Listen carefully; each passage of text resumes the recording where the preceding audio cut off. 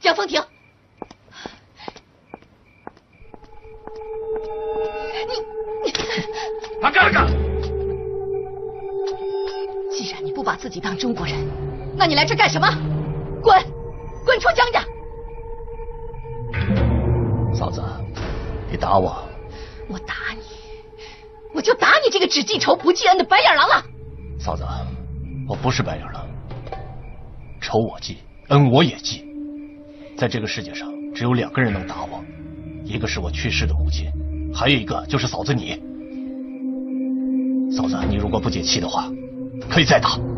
你，但是嫂子，我告诉你，只要你今天不把我打死，否则今天我必须让这个人给我跪下。他要真这么做，我就可以饶恕他之前的罪过，我甚至可以为他养老送终。我就是要争这口气。小亭子，你怎么变成这样了？你母亲当年是病死的，与你大妈有什么关系啊？啊！我母亲是病死的，但她是抑郁悲痛而死，罪魁祸首难道不是这个虚伪的你吗？你你你给我闭嘴！江风婷，我不准你侮辱大妈。梅梅，你让她说。让她把心中的恶水倒干净。不费口舌了，不费口舌了。江夫人，低下你高贵的头吧，跪还是不跪？江风亭，哦，现在是叫古川俊雄是吧？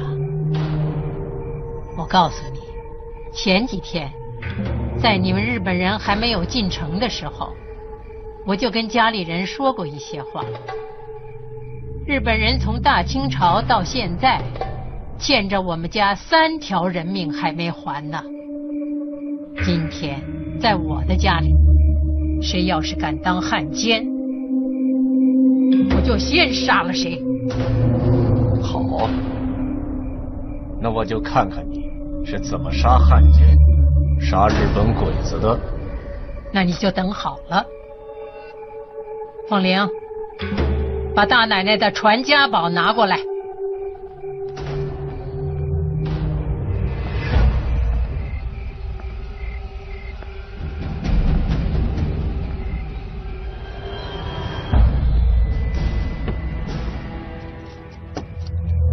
妈，梅梅。不知道这把枪的来历是吧？这是你太姥爷当年参加甲午海战打日本鬼子用的。你太老爷死在日本鬼子的手里，可是这把枪留下来了。这把枪当年杀死过占领我老家东北的日本鬼子，今天我要用它消灭。占领我们江城的日本鬼子，小鬼子，快滚出我家！都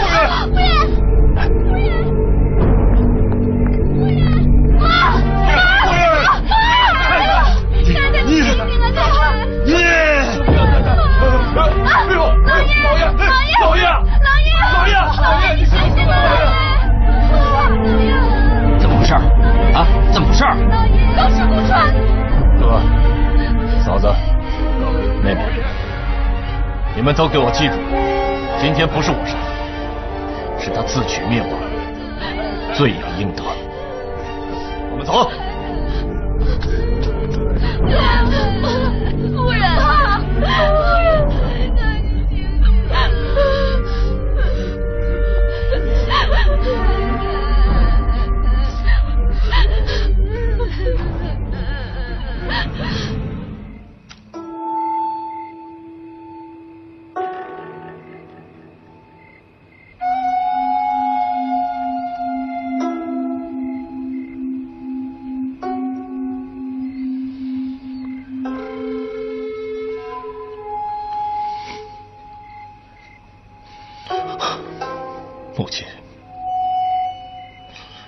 你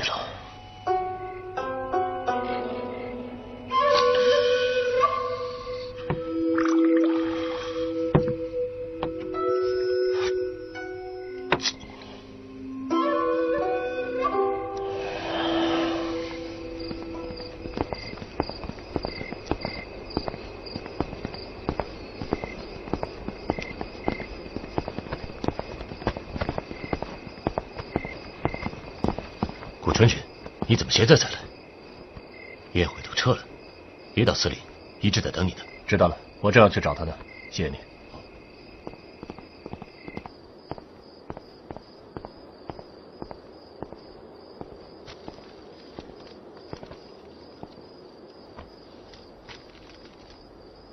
对不起，舅舅，我没能邀请江万林和妹妹参加中日亲善晚会。如果我没猜错，当你见到你亲生父亲时，他忏悔的眼泪俘虏了你的心，在江家的餐桌上，你不再是天皇战士古川军雄，而是江家的二儿子江凤清。不是舅舅想的那样，我没有请来江万林和江梅参加晚会，是因为我在邀请的时候，江家大夫人横加阻挠，并且企图枪杀古川，被古川的警卫当场击毙。你是说江家大奶奶死了？是的。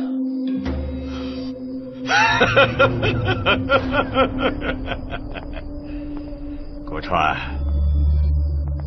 我只知道你一直想为你的母亲报仇，但没想到你居然没让他活过大年夜。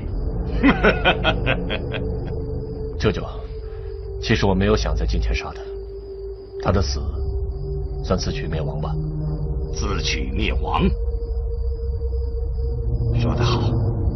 说得好，这样，你在天国的母亲也可以感到欣慰了。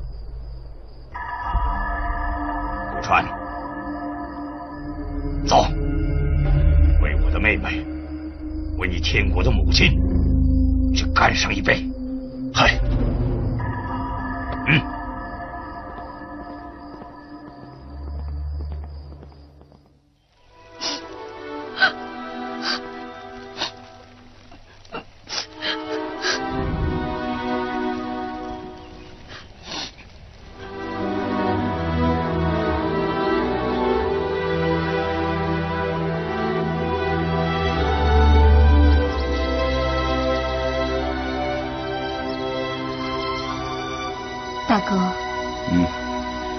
江城大汉奸的帽子，还想戴下去？啊我不想戴，又能怎么着啊？跟你说实话吧，我现在心啊，真是有点凉透了。你觉得古川野岛还信任你吗？在我跟野岛说我要给母亲上香的时候，他们就问我到底恨不恨他们？那你怎么说的？我跟他说，我只能说我恨我自己。你这么说，就算他们不信任你，也认为你屈服了。妹妹，我这么做其实都是为了这个家，只要一家能平安，我怎么样都可以。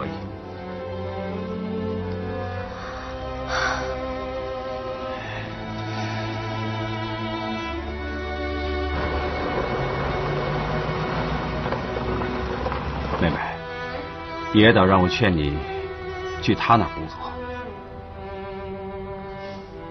哥，那个野岛对我没安好心。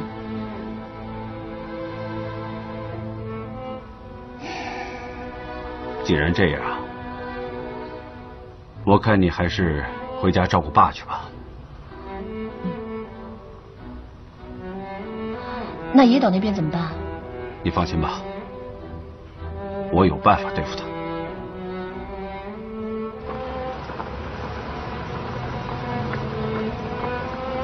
哥。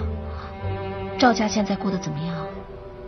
赵家虽说房子没了，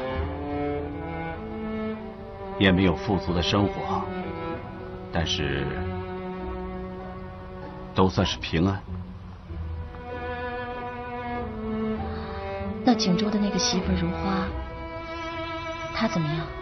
如花真是个善良的好姑娘，赵家人都非常喜欢她。是吗？她还真挺好的。妹妹，我劝你啊，别再跟景州来往了。即便就是他回来，你们两个人也不可能在一起。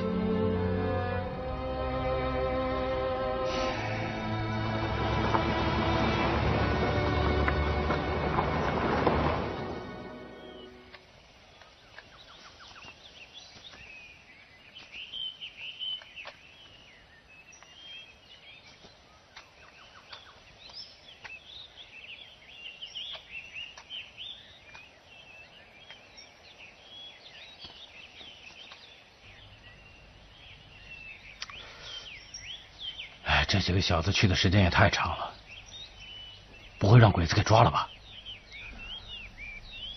应该不会。从三瓦窑进山这段路看，没有鬼子烧杀抢夺的痕迹，鬼子多半没进山。你小子就是一时糊涂，一时聪明。从三瓦窑过来，这一路全是野山，连一户人家都没有，鬼子烧谁杀谁啊？这前面是中和镇，要是没有鬼子。那一定说明鬼子没有进来。嗯，老七分析的有道理。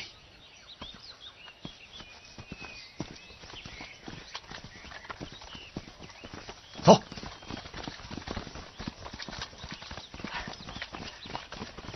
师座，咱们兵发中和镇吧，那儿连鬼子影都没有。二少爷，鬼子还真给我们留了一块有吃有喝的好地方啊！哈哈哈哈于百灵，你们进到镇子里面，有没有鬼子的踪迹？那儿的人连鬼子什么鸟样都没见过，但是那里家家关门闭户，见到我们跟见土匪一样。没问问什么情况？当然问了。我跟你说啊，要不是我冒着犯纪律的危险抓两个人来问，就靠他呀，你根本就抓那人问了，他说的话你能信吗？怎么不能信啊？行了，于百灵，赶紧说，这里到底是什么情况？鬼子影是没有，但是被共产党游击队祸害十来天了。于百灵，你给我闭嘴！共产党游击队能干这种事吗？干这种事的一定是土匪。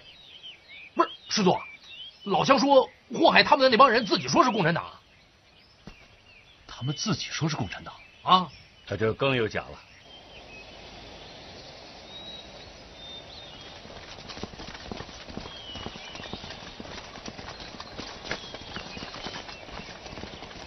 陈勇啊，大嗓门喊起来！哦，中和镇的乡亲们，你们不用怕，我们是真正的。抗日联军游击队，不是前些天冒充共产党队伍祸害你们的那帮土匪。中和镇的乡亲们，你们不用怕，我们是真正的抗日联军游击队，不是前些天冒充共产党队伍祸害你们的那帮土匪。老乡们，我们是之前住在三瓦窑的共产党八支队。老乡们，老乡。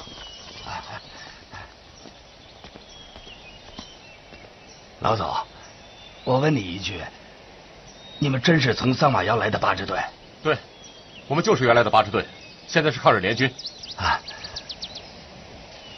我去过三马窑。哦，我见过八支队的周队长。周队长，老乡，哎呀，哎呀，周队长啊，又见面了。周队长，真是你啊！是啊，我信了。你们才是真正三瓦窑的八支队，你们一来啊，乡亲们可有救了。是啊，这里的乡亲们受苦了。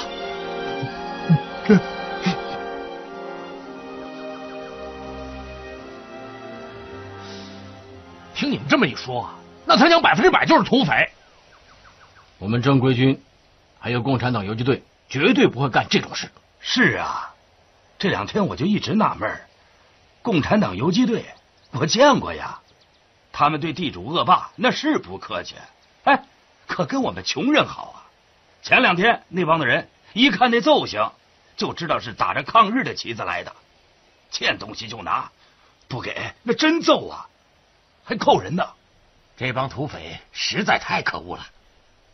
我家二弟只不过做点小生意，已经给了五十大洋，一扭头，嘿。又被叫到黄龙寺，这又要钱呐！哎呦，家里人呐，都急疯了。这帮土匪有多少人？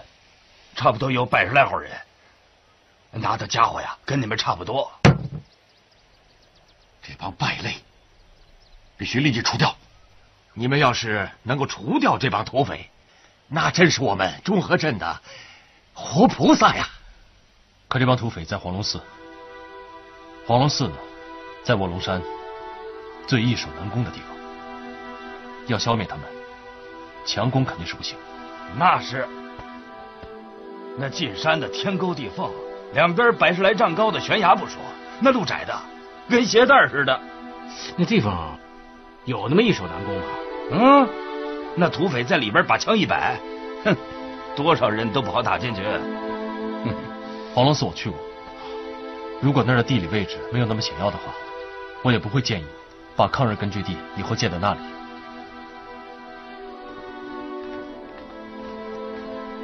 弟兄们大老远过来帮我们，吃饱了喝好了吗？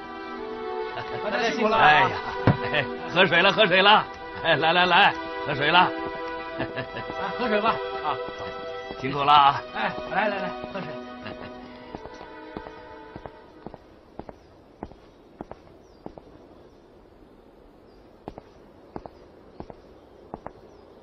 我觉得，我们应该立刻彻底消灭眼前这股祸害老百姓的敌人。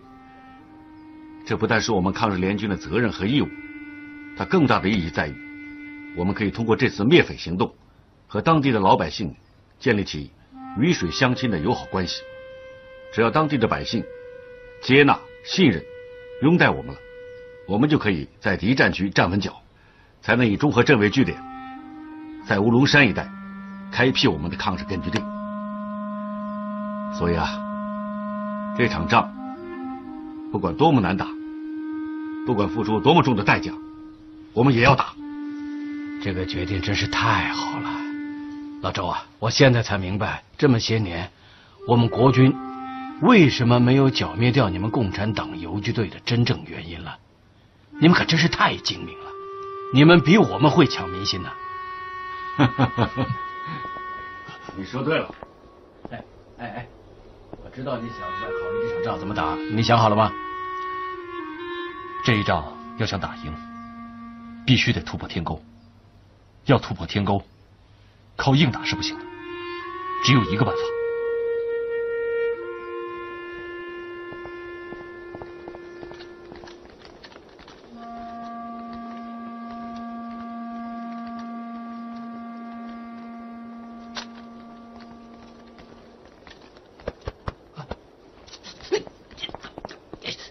啊！你这个老流氓，在偷听啊？嘘什么嘘？快走，走走，哎，走走。这个主意好啊！我看除了我女婿这个好主意之外，要想攻进天沟，还真没什么好主意了。嗯，的确如此。锦州啊，这个主意是你提出来的，那么这场特殊的攻坚战，就由你来负责指挥，怎么样？好，周队长。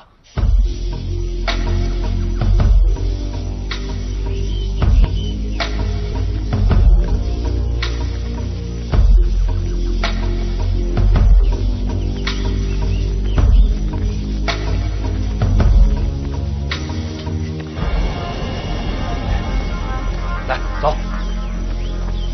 站住！哦，站住，站住，站住！干什么呢？这可是抗日游击区，再往前一步，打死你们！呃，抗日的英雄，我们是钱老爷家的人，特意带着钱和粮食来换我们家钱老爷的。你是钱老板家的人，我怎么不认识你？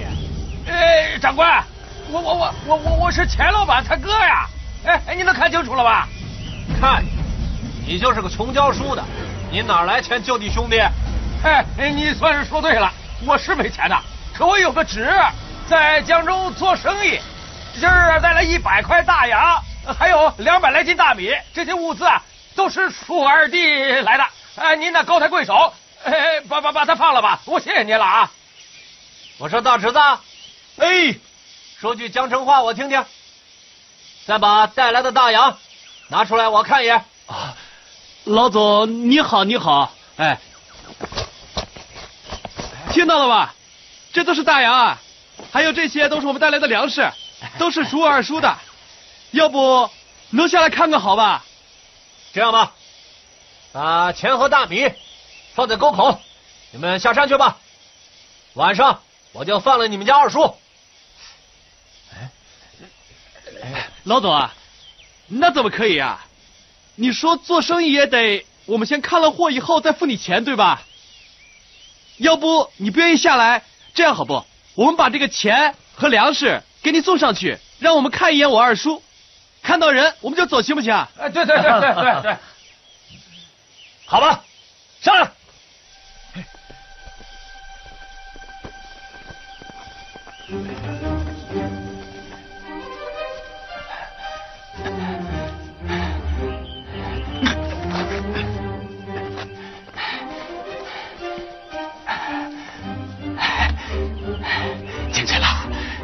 赵队长他们都进去了。老周啊，这笔买卖算是挣着了。好啊，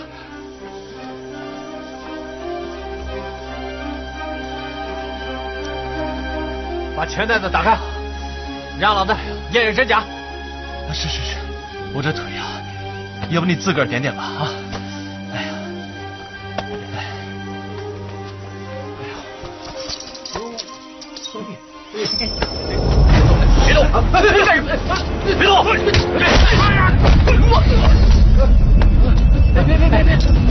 小奴婢别乱喊乱动！请放下！好好好，放放放放下放下啊！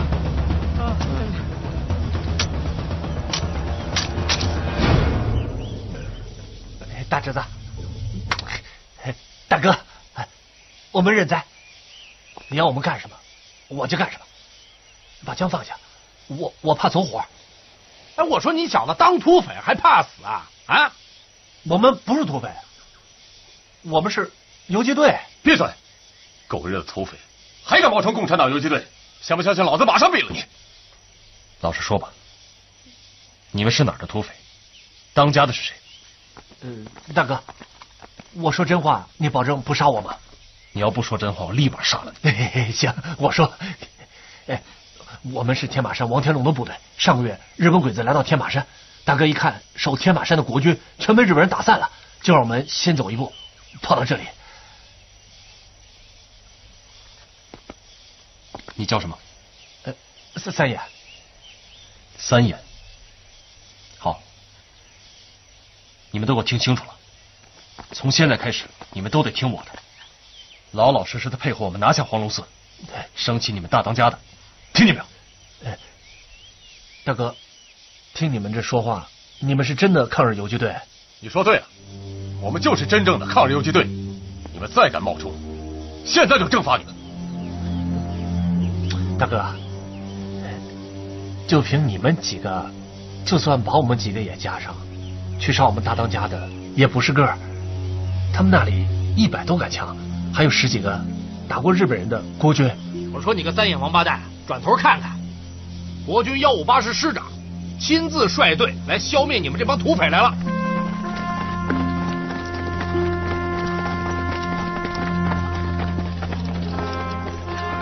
哎，拿下了。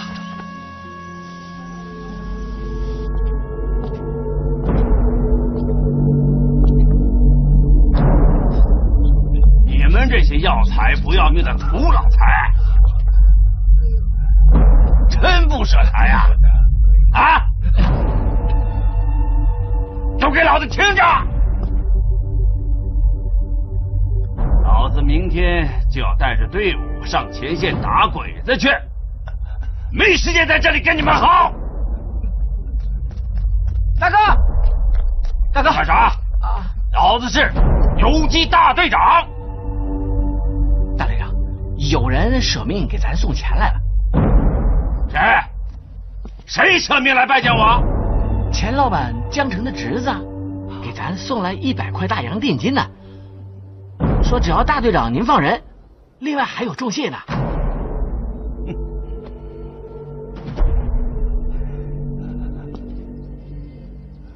钱老板，你个龟孙子，你不是说你家里没钱了吗？怎么又冒出个有钱的侄子来？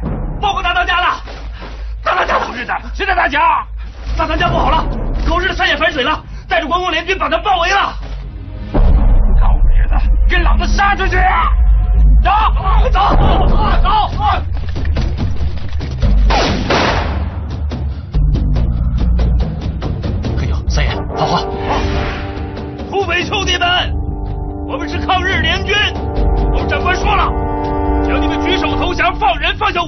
我们就不杀你们，而且还欢迎你们参加真正的抗日联军。兄弟们，我是三眼，别打了，投降吧。黑牛兄弟说的对，我们一起参加抗日联军，一起杀鬼子，就算死也光宗耀祖，不许当土匪强。他娘的！弟兄们，冲！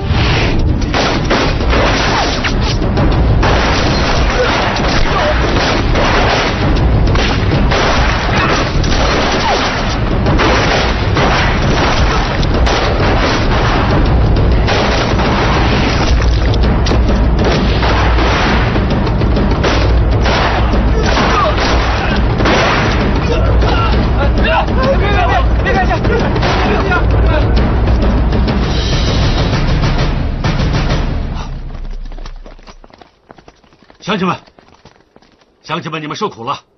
我们是共产党领导的抗日联军，是来救你们的。救我们！飞牛，别闲着，赶紧送吧！啊，快起来吧！都起来吧！得救了！哎哎呀！哎呀！哎呀！钱老板，救咱们的是真正的共产党抗日联军。哦，人。你你救了我们，就不用抗日捐款了吧？当然。哦，那真的谢谢共产党啊，谢谢共产党，感谢感谢，谢谢共产党。你们几个把枪都统计好，放到后边去，快！是。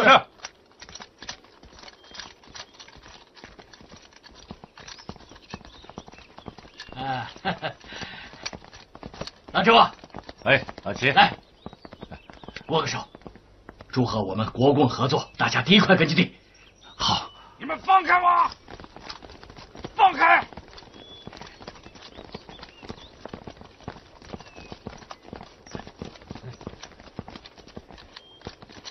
是龙上天，是蛇钻草。大爷今天栽在你们这里，老子认倒霉，是杀是剐尽管招呼。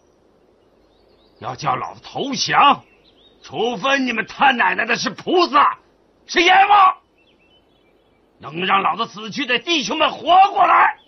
再乱嚷嚷，把舌头给你割下来！跪下！你们想杀就杀，老子上跪天地，下只跪父母，宁死不跪杀死老子兄弟的人。我说，要不就把这小子毙了吧，留着他也是个祸害。王天龙。你是投降，和我们一起抗战打鬼子，还是继续顽抗？现在就要见阎王。你已经说过了，能让老子死去的弟兄活过来，老子就想。好，是个有情有义的汉子。今天我成全你，拉出去，并师长。我求求你，别杀我们大哥！我们大哥对我们兄弟好，是个讲义气的人。兄弟们，说句话呀！是啊，是啊，求求你放我们大哥，大哥吧，大哥吧，大哥，大哥是好人。我三眼这辈子有对不起你的，下辈子也一定还。大哥，你就降了吧！你们这些龟孙子，活你们的！老子要活就得当爷。给人当孙子，老子情愿死！拉出去毙了！走，起来，起来，起来！走，大哥，活你们的！大哥，你们活你们的！师长，这个大当家的这么多人给他求情，看来不是一无是处。要不我跟他说说，如果能转变过来，说不定是一员抗日的猛将。金州，如果你能说服王天龙投降，留下他，我没意见。快去！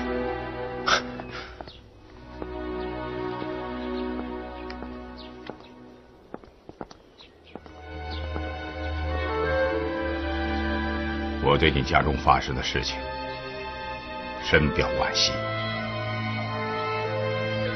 野岛司令，实在对不起，我父亲生病在床，我需要留在家中照看，就不能为皇军工作了。江梅，你过去对皇军的错误行为，我可以理解和原谅。你也看到了，眼下江城已归属了我们，我们大日本皇军也履行了不伤害百姓的承诺。作为医生，我希望你能够代替你的父亲，和我们的黑泽医生一起主持惠民医院的工作。岳导，你要我的医院，我给了你们；你让我的大儿子去做了汉奸，我也由他而去了。现在，你又让我的女儿去给你们做走狗，我绝不答应。爸，江万林。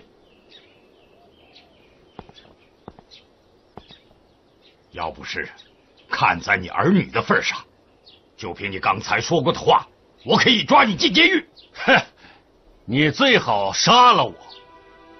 野岛，我实话告诉你，我江万林早已是苟延残喘、苟且偷生了。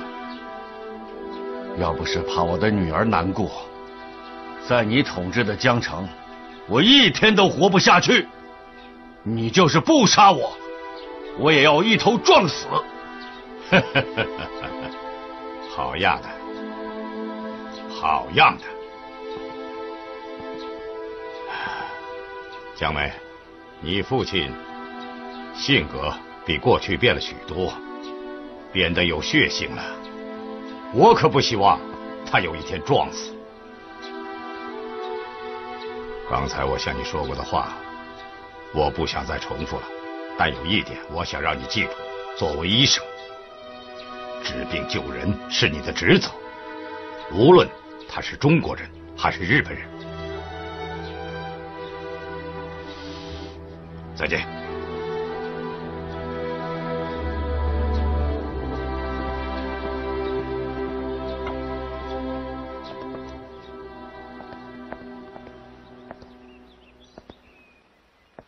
王大当家的，你以为不怕死就是好汉了？那你说说，你是今天死在这儿，被我们当土匪给毙了职呢，还是你降了我们，跟我们一起打鬼子，死在抗日的前线上职呢？你好好想想，反正都是死，可结果却大不一样。你今天要是死在这儿，你的兄弟们顶到天了，说你是讲义气的好汉，可老百姓们还是会说，你就是个该死的土匪。可你要是跟了我们打鬼子，死在了抗战前线，那有可能全国的老百姓都会知道，知道你是为了国家、为了民族而牺牲的抗战英雄。你的家乡，你家乡的人民，会因为出了你这样的英雄而感到骄傲。还有可能，他们会因为你的英雄事迹而给你立碑颂赞，让你的大名万古流芳。兄弟，你这张嘴太他娘的厉害了！一百灵，还不赶紧松绑？好。哎，我说赵景忠，你小子这张嘴可真是太厉害了，老子可是服了你了，兄弟，人能让你给说活了。嘿。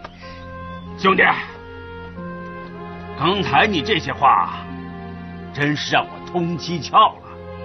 我今后就听你的，当能光宗耀祖、流芳百世的抗日英雄。好，嘿嘿，好。蝴蝶，你回娘家看看孩子吧，我找梅梅说点事儿。好。那我让吴妈把中午饭给你们做好，我在娘家吃了饭就回来。那我走了啊。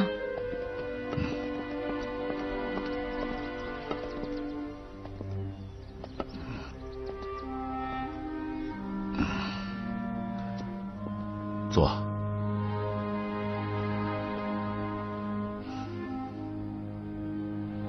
妹妹，爸爸活不了多长时间了，最多也就是一两个月的样子。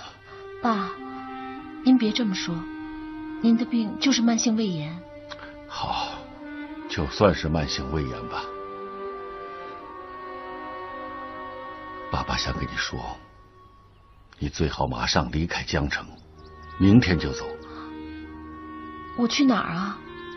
去武汉，去重庆，只要不是日本的占领区，去哪儿都行。爸，我走可以，但你要把病治好，我才放心啊。爸爸的病啊，已经无药可治了。之所以勉强活到现在，就是不放心你。我就是要亲眼看着你逃出魔掌，那样，爸爸就是死了，也瞑目了。爸，我不准您提死，我要您跟我一块儿走。傻孩子，国都亡了，哪还有幸福啊？爸，虽然日本人。占领中国近半国土，但也不能断定我们就亡国了。我相信，只要我们坚定的活着，一定能等到日本鬼子灭亡，我们的部队打回来的那一天。我们的军队每天都在节节败退，你的胜利信心从哪里来的？从赵景洲那儿？是。就是从他们这些虽然失败，但绝不投降的军人身上得到的信心。景州虽然不是我的女婿了，但一定是给江城人长脸的英雄。只要我的女儿有信心，清清白白的活着，那就好。那就好啊，爸。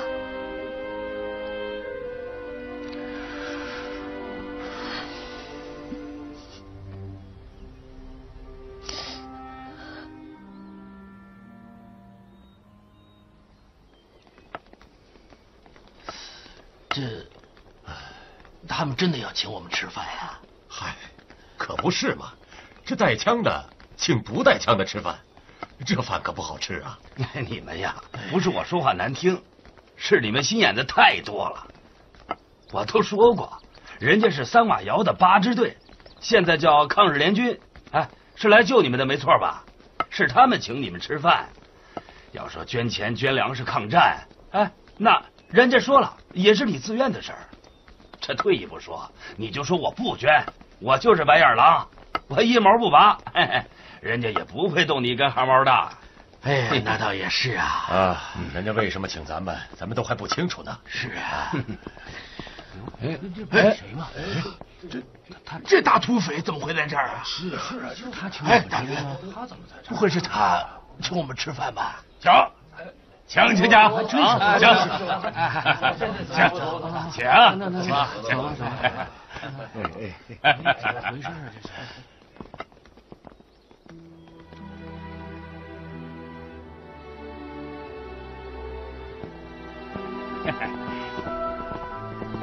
啊，来啦！来来来，哎，菜来啦！来 来来，来，慢慢吃啊。那个各位老爷啊，我们联军出来跪地，钱粮吃紧了，请不起大家吃大鱼大肉，只能请大家吃豆腐宴了。豆腐宴好，就是就是，豆腐宴好，好，好，好，一会儿你们就敞开了吃啊啊。几位联军长官，按理说你们救过我们的命，这饭呐，应该是我们请你们才对呀！啊，改日我们一定回请啊！回请回请回请就不必了。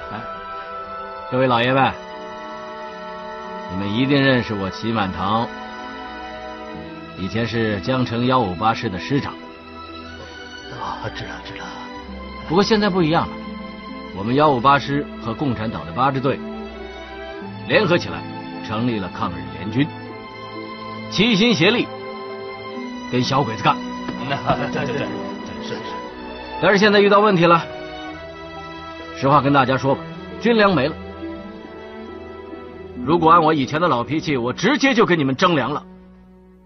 我们幺五八师和共产党的八支队联合起来，齐心协力跟小鬼子干。嗯，好。眼下我们遇到大麻烦了，实话跟大家说吧，军粮没了。如果按我以前的老脾气，我直接就给你们征粮了。可我现在不一样了。国军和共军两军合一，成立了抗日联军。我们联军共产党的优秀干部周大队长严禁我们向老百姓强行征粮。今天请你们来，不是摆鸿门宴，是希望各位老爷支持我们联军，让我们从你们手里打借条借军粮。这方法行吗？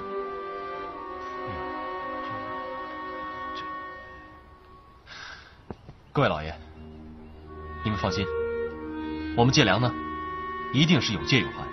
只要我们摸清敌情以后，过两天到江城，把鬼子的粮食抢出来，借你们多少，一定还你们多少。各位乡绅，为了让大家放心，我们还以抗日联军的名义准备了借条。如果谁的家里有余粮，而且又愿意借给我们。借多少斤，我们都如数的写上。如果家里没有余粮和不愿意借给我们的，那我们也不勉强。大家吃了饭就可以回家。各位联军长官，我家中实在没有余粮可以借，是否可以不吃饭，现在就走啊？可以走，钱老板，你尽管放心。我们说话一定算话，这借粮啊，全凭自愿。如果你信不过我们，你现在就请吧。好，那我就走了。你们几个还有谁要走的，也可以走。不，我不走了。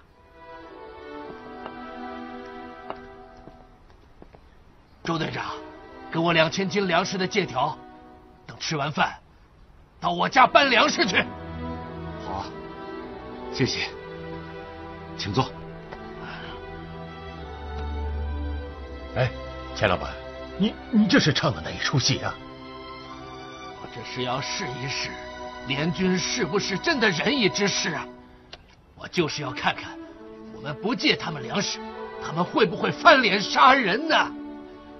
结果他们让我走了，你们说说，他们救了我们的命，我们借点粮食给他们，这算什么？来，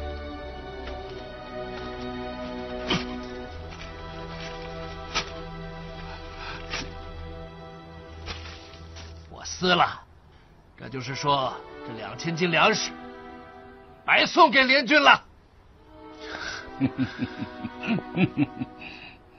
赵队长，你给我写上借一千斤粮食的借条。等我们吃完了豆腐宴，你们就到我家去搬粮食去。好啊，不过我的借条可不撕，我得等着吃你们从鬼子手里夺回来的粮食。这就对了。长官，给我写上一千二百斤。哎，我两千斤，我八百斤。哎哎，长官，我的粮食确实不多了，我捐五百斤。是啊，是啊，好 好好，多力量大。孙老爷，你拿好了，你放心，我一定让你吃上鬼子的粮食。哎呀！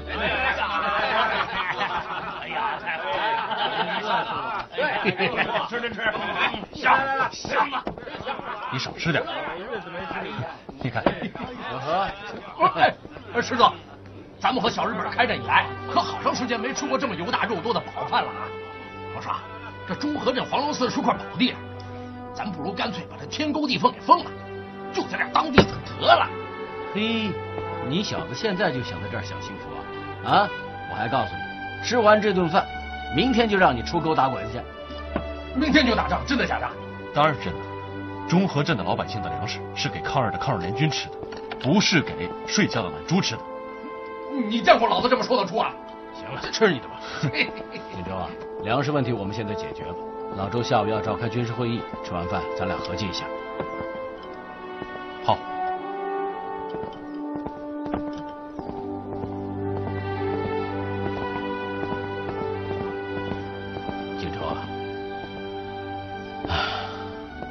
意思是，我们能在占领区拉起这么一支队伍来不容易，我们不能两眼一抹黑，拼了老本就出沟打鬼子去。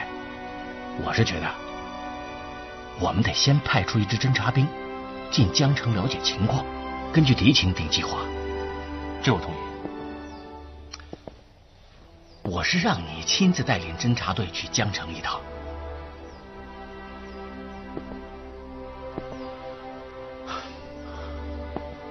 你是想让我去江城把如花给接出来是吧？那也是你小子的媳妇儿如花。我现在担心的不仅是如花，你的家人现在也是我的家人，我一样担心。哎，小子，你这次进江城，除了了解敌军的情况，还要把家人情况弄清楚。家里人要是平安无事，那是最好，我们就可以放手杀鬼子；家人要是有难，我们就必须得把他们救出来。我明白了。哎，我跟你说的意思，你明白就行了。一会儿当着老周的面，你别提家里的事儿。不是，我的意思是说啊，他们共产党啊，铁石心肠，不讲私，只讲公。师长，你这是对共产党人的偏见。共产党人也是人，他对敌人是不客气，可是对老百姓，对待自己的同志，那比起咱们国军来，可有情有义多了。哎，行了行了行了，咱不争这个了啊！他们是人最好，是神更好。嗯，海星君，如果我要做一套敬献给天皇的紫砂壶，是还能不能找到比赵月婷更好的制作师傅？我也实话跟您说吧，在江城制壶的师傅很多，只是堪称大师的没有几个，也就剩下赵月婷了。如果我让他做一把关于中日亲善的壶，他能做吗？我觉得他应该会吧。哼，回答如此不坚定，就说明他也有可能拒绝。我想他不会去做的。自古以来，凡是有成就者，都是有个性的，否则也就不可能成事了。嗯，根据多年游击战的经验，我同意刚才景州同志的建议。我们要想在敌占区有效的打击敌人，先决条件就是我们要充分了解敌人的情况，而让敌人对我们一无所知。所以我觉得这次侦察任务是至关重要的。我们要做到两个必须：第一个必须，我们必须要掌握江城敌人的兵力部署、军火和粮食储存情况；第二个必须呢，就是我们的侦察战士。一定是最坚强的人民战士。在侦察任务中，一旦出现了情况，要敢于牺牲，至死不暴露自己的身份，不暴露我联军的任何军事情况。周队长这两个必须说的非常好。我看如此艰巨之任务，我看交给赵锦州吧。不是，戚师长，你也太武断了吧！锦州办当然没事了，可是我们这连队里过硬的侦察兵也有啊。张大头，你别着急啊。第一，赵景洲是土生土长的江城人，对那里的大街小巷非常了解。第二，他有侦察和战斗经验，在淞沪大战中他就成了战斗英雄了。再有，他抗战的立场是非常强的。我敢保证，如果出现意外的话，他绝对不会当叛徒。老七，你不用说了，由景州同志带队执行这次任务，我完全同意。可是我们还没有征求人家景州同志的意见呢。让你带队，你有意见吗？既然两位领导都觉得这个任务合适，那我当然不能推辞。不过我有一个条件，随我去的侦查员得由我来定。啊，没问题。你准备带多少人？既然是侦查工作，人不宜多，五个就行。哪五个人？张大同、于百灵、孙兰芳、黑牛，还有三爷。嗯，其他的人我没有太大意见。可是那个刚从土匪队伍转过来的三爷，你有把握吗？你能说说你为什么选他吗？选他。第一是因为他是刚刚加入我们联军的人，第一个任务就用他，会给新转过来的战士增加信心。第二呢，三眼这个名字，听说不是白给的，他看到的东西可以过目不忘。嗯，你说的这两个理由完全对，只是我对他和于百灵的立场问题还有些担心呢。于百灵没问题，他虽然贪杯好色，但打起仗来敢拼命，是个靠得住的好汉。而且在上海，他可是舍命救锦州。要没有他，这小子的命啊，估计就留在上海了。锦州，是这样的吗？的确如此。平时你别看我经常骂他是老兵痞，但我跟他呀，还真是一对好搭档。好，于百灵没问题。哎，那个三眼呢？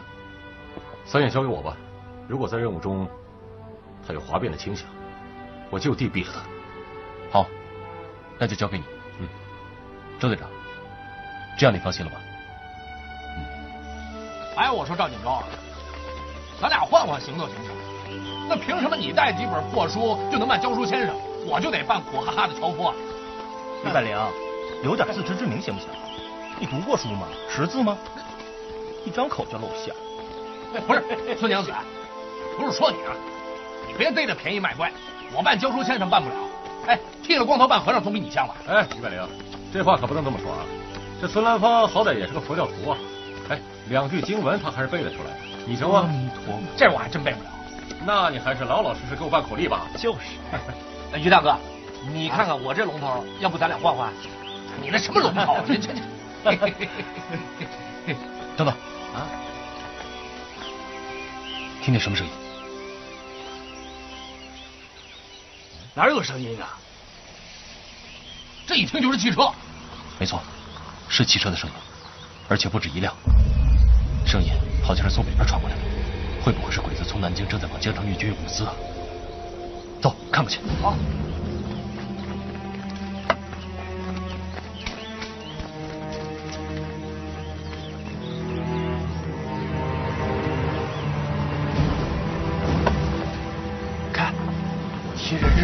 高耀奇的卡车，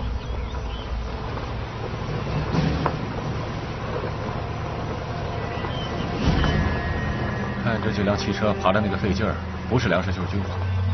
早知道有这么大的买卖，多带几人出来。行了，别演战了，赶紧执行咱们的任务吧。是啊，吃不到的肉啊，就别惦记了啊。吃不到肉，弄点骨头也行啊。李百灵，你也不睁眼看看，车上那么多鬼子。咱们就这么几个人，这骨头这么硬，你啃得动吗？有啥啃不动的？牙啃不动？不会用石头砸烂了吃啊？傻子，越来越聪明了。赵队长，你看，有辆卡车在路边停下了。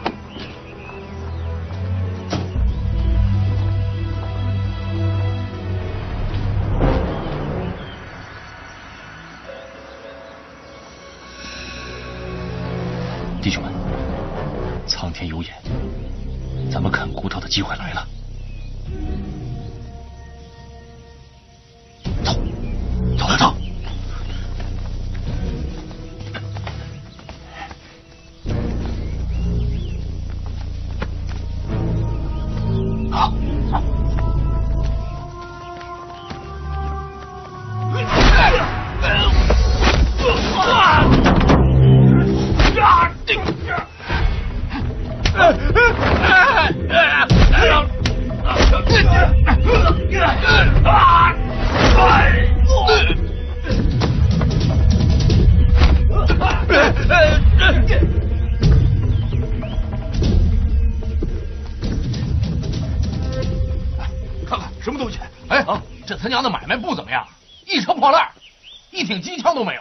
是啊，咱们先把尸体弄走，然后把车开走，咱们路上再说。走。好，走走。来来，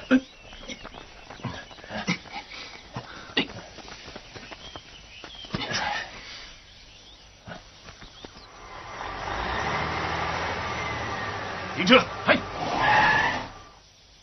队长，怎么了？打倒他们的车到现在都没有跟过来，我担心他们出事了，赶紧回去看看。嘿，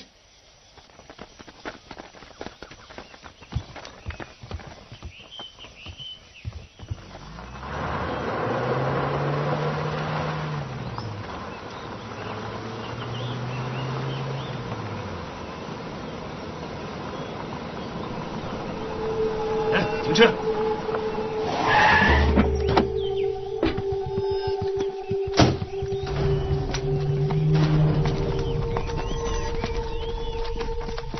没错，我记得他们的车就停在这里。是的，长官，就是这里。人怎么会不见了？快点到处找找！哎，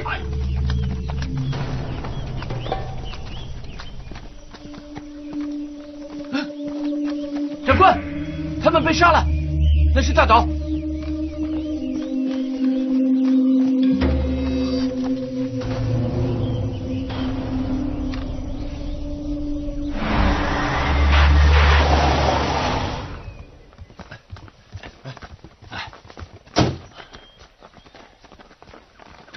就几箱子弹，几箱日本酒，不可能，车这么重，不可能没别的东西。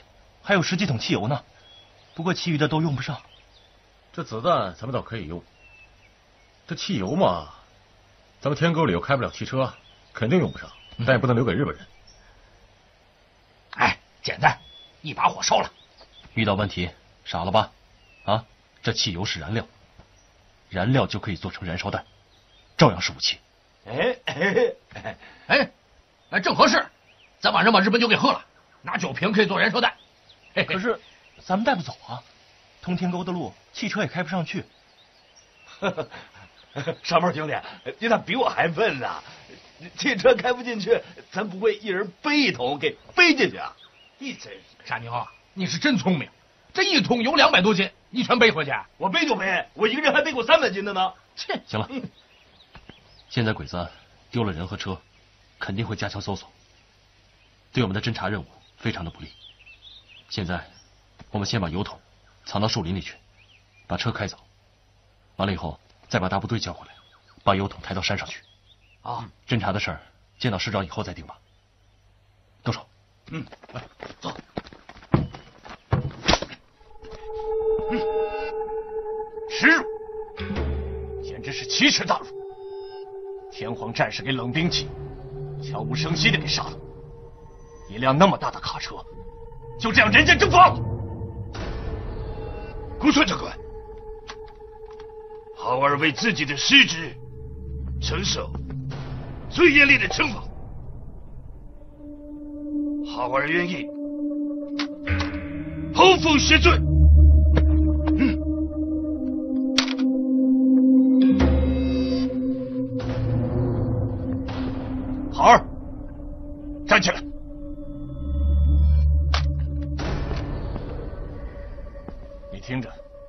你的命不属于自己，属于天皇陛下。留着你的命，去戴罪立功吧。谢谢总操，给我戴罪立功的机会。滚吧！嗨。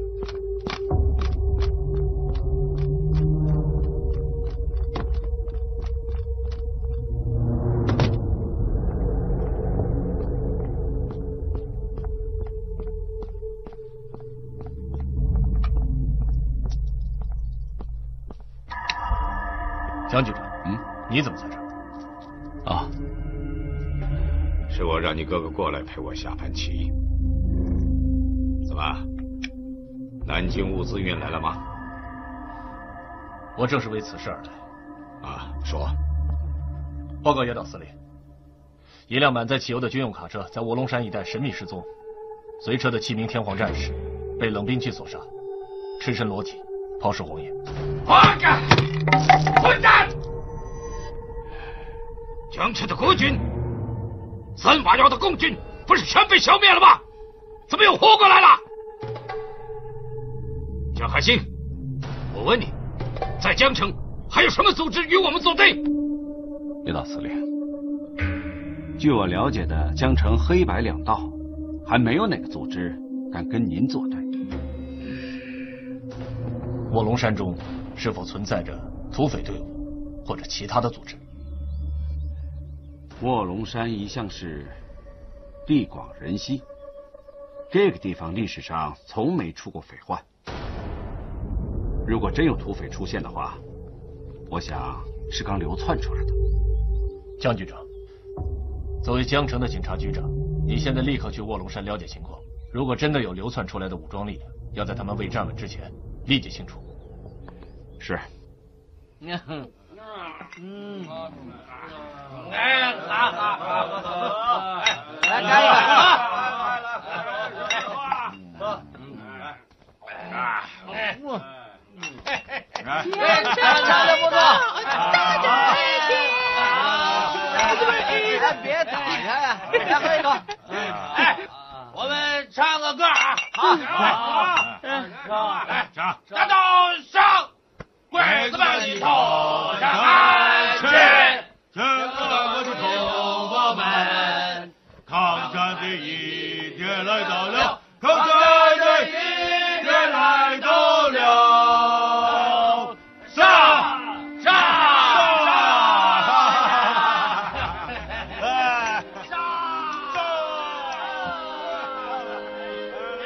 老齐啊，你看把战士们高兴的。这帮小子喝了点酒就没把门了，我叫他们闭嘴。哎，大头，大头，哎，走走走走，走走走走走。哎，这好不容易打回胜仗，你让战士们痛痛快快的出出心中这口气。哎，景州说的对，就让战士们心情痛快吧。嗯，对。老来，老齐，景州，真是太愿意了。以后谁要再说共产党没人味儿，从我这儿就过不去。来来，为了我们联军能够很好的团结在一起，齐心协力，并肩战斗，直到把日寇赶出中国。来，干杯！嗯，干杯，干杯！来来干！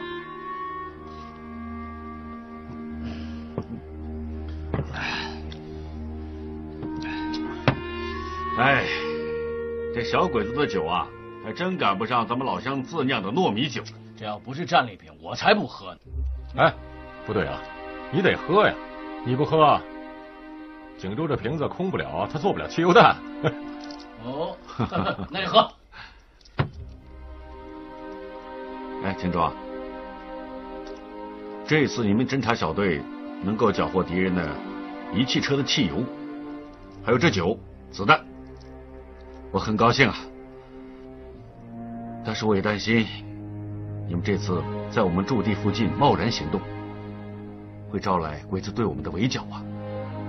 我想，我们恐怕应该迅速转移驻地了。老齐，老周啊，游击战的战术，打一枪换个地方，我同意你的观点，但是具体情况一定要具体分析。假设我们这个地方不是天沟地缝。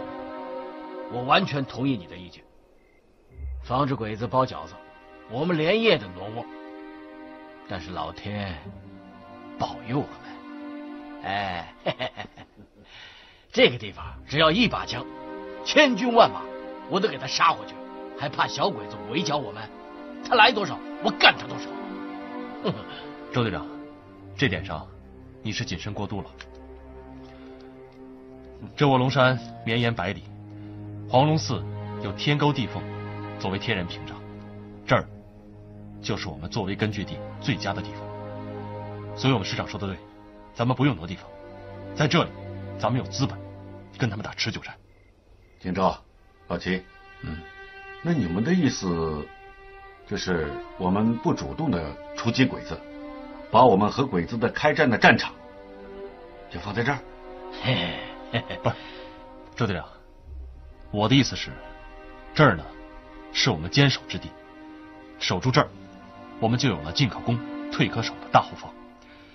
那我们出天沟，袭击江城之地，不断扩大我们的根据地，这是我们未来的发展方向。好，来，咱们喝酒。来来来来来来，来，嗯，说得好。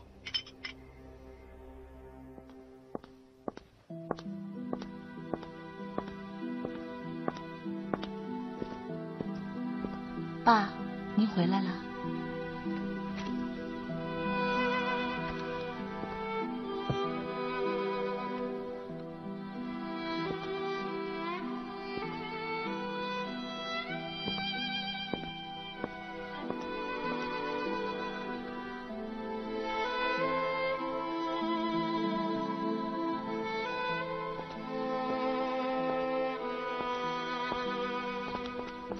梅梅，嫂子，喂，怎么了？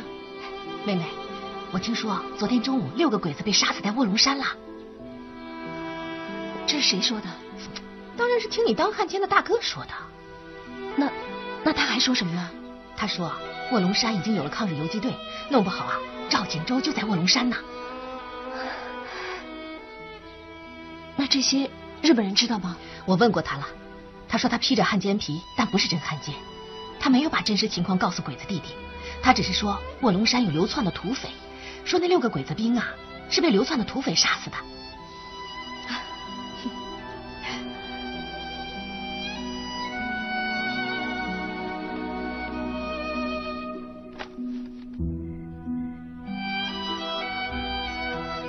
锦州，不管你和齐如花有没有做成夫妻。你一定要给我好好的活着，早一点壮大自己的队伍，早一点带着你的队伍回来，把小日本鬼子消灭干净。等你把日本鬼子彻底赶走，我再跟你清算所有的账。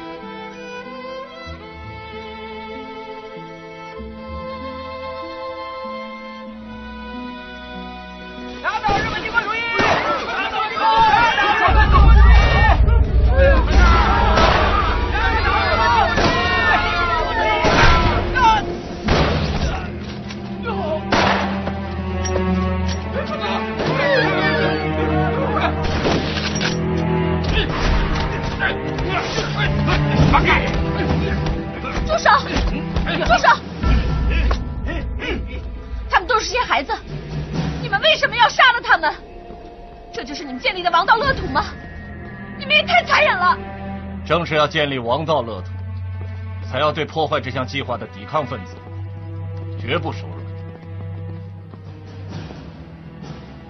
行啊，古川俊雄，我也是抵抗分子，你也把我杀了吧。你们先过去。哎，妹妹，我希望你认清形势，赶紧接受野岛司令给你安排的新工作。与皇军为敌没有好处。你干什么去？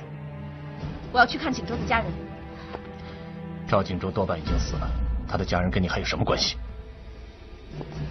就算他死了，我也要去。不像你那么冷血。梅梅，你别跟我赌气，我奉劝你不要去，去了你也见不到他们。为什么？你把他们怎么了？你跟我走吧，我有空告诉你。今天咱们好好谈谈家事国事，我要让你明白。中华民国统治下的江城已不复存在了，现在的江城是天皇光照下的江城，顺应天皇者就是天堂，对于抵抗者只能是地狱，你明白吗？我杀了这日本鬼子！我我要杀那些日本鬼子！我拉开了，拉开了！你这个疯子！你们再看不住他，再让他大喊大叫的话，我就杀了他！别说了！哎呀，回去，回去，回去，回去！求求你，求求你，帮我通报野岛司令或者江局长好吗？你有什么事？我我妹妹她疯了，她需要药物治疗。另外呢，我们已经没有粮食了。如果再把我们困在这破屋子里，不给我们自由，不让我们出去借粮食的话，那我们一家老小就得饿死在这破屋子里头了。清泉，不要求他们，饿死了倒也好。这种人不人鬼不鬼的日子，活着还有什么意思？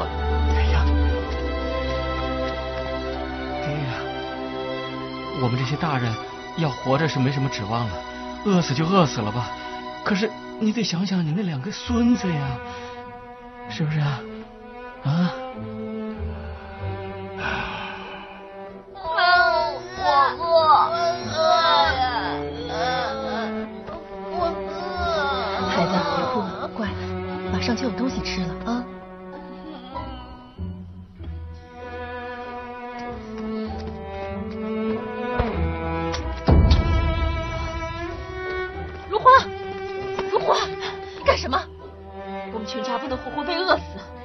不让我出去买粮，我就出去把他们给杀了。我们全家都跑出去，跑出去哪有那么容易？现在全城都是日本人，我们一家老的老小的小，就是想跑也跑不出去啊。赵叔，我给你们送粮食来了。如花，你快把枪收起来，那个大汉奸来了，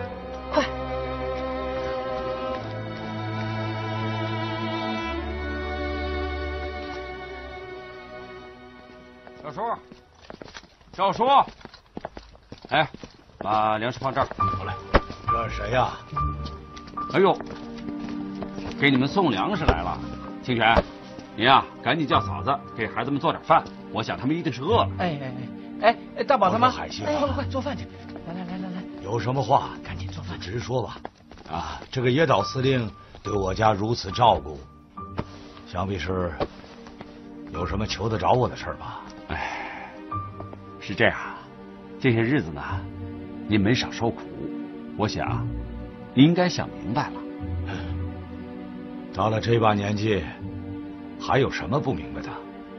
嗯，我赵家的家产都归了日军了，我抗战的儿子生死在外，从我这儿找不到什么借口。野岛司令能看上我的，无非是我这做活的手艺。嗯，你说吧，他要一把什么样的壶？啊，做什么壶？我看这样，您呢，跟我去见一见他，让他亲自跟你说。嗯好，那就等着吧。等我吃完饭再走。行。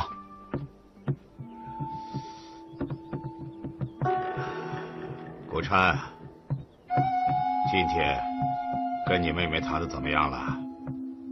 她还和你父亲一样偏执吗？哦，按照舅舅的意思，我带她去参观了我们改造的医院、学校、福利院，还有监狱。她有所触动。嗯，有什么触动？她觉得我们不光是屠杀抵抗者的机器，还可以做一些善事。不过她现在认为，还是收买人心的虚假善事。虚假善事也是善事。古川，改造你妹妹的事情就交给你了。嗨，哎，看看我做的这把壶怎么样？啊，舅舅，我不太懂。我看还蛮不错的嘛。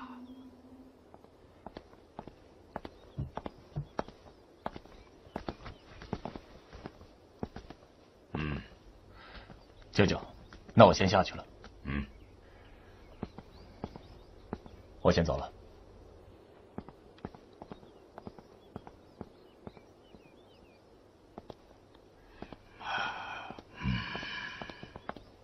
赵老先生，欢迎欢迎。看我做的这把壶怎么样？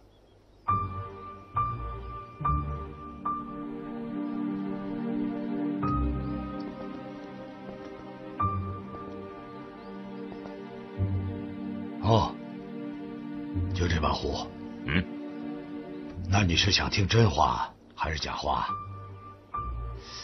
没关系，直说。哼，哈哈哈哈哈哈！哎呀，这把壶啊，造型很特别，恐怕这世界上再没有第二个人能造出这样的壶了。哈哈哈哈哈！明白了，赵大师，请坐。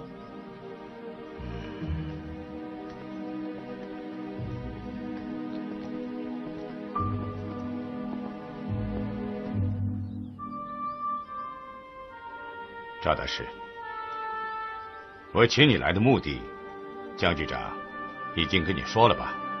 嗯，你想要一把什么样的壶，就吩咐吧。我听说你做的仿古壶非常好，我很喜欢。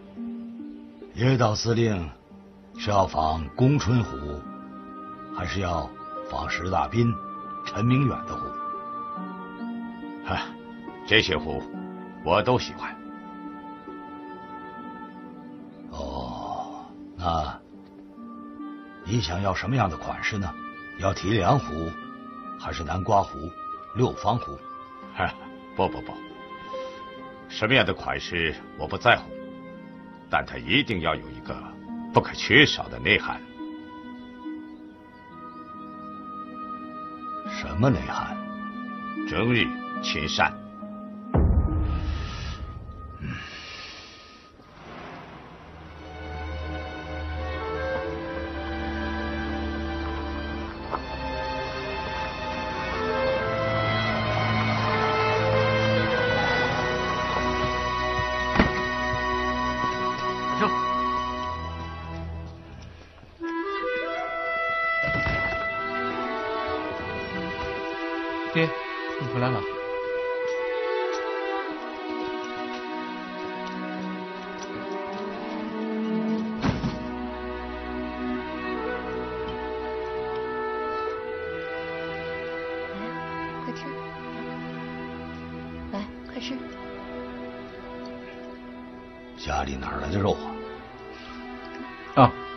这是海鲜带过来的。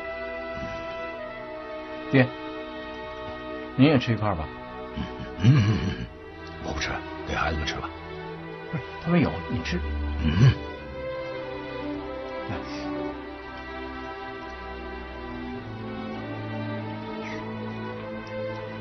嗯，对了，爹，那个野岛他叫你去，是要你做什么活啊？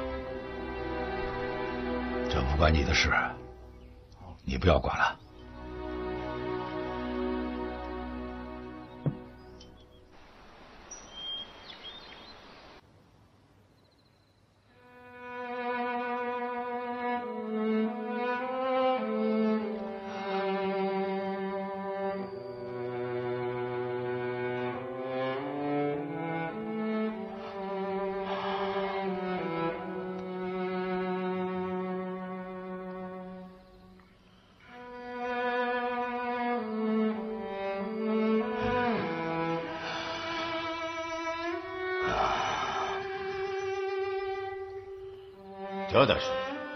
知道吗？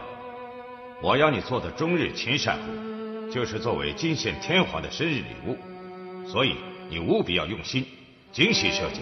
我希望在此湖上飘扬着日本国旗，覆盖在中国的版图上。在你设计的死湖上，我要让我们的记者全程拍摄下来，以做中日建设的礼物。